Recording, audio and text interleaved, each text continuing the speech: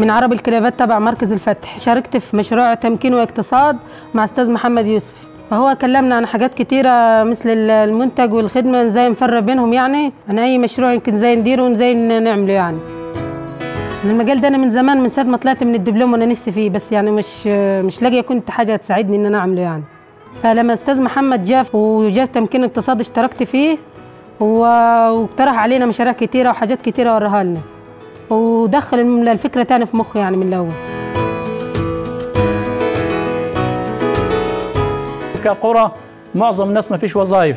ما فيش طبعا بالنسبة للوظيفة غير يا دوبك يروحوا الغيط يروحوا الزرعة يا دوب فطبعا كل دي وسائل.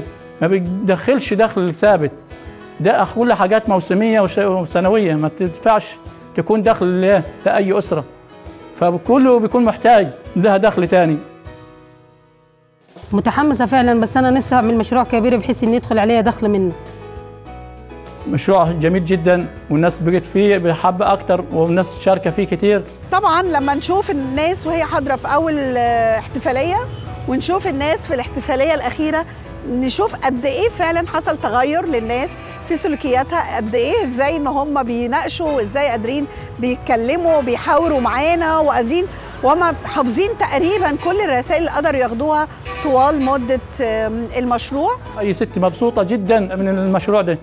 إنها تتعلم أي حرفة أي حاجة تدخل بها دخل. تساعد جوزها في البيت وتنمي نفسها في البيت وتساعد بها أطفالها. لا إحساس إن أنا اتعلمت حاجات كتيرة.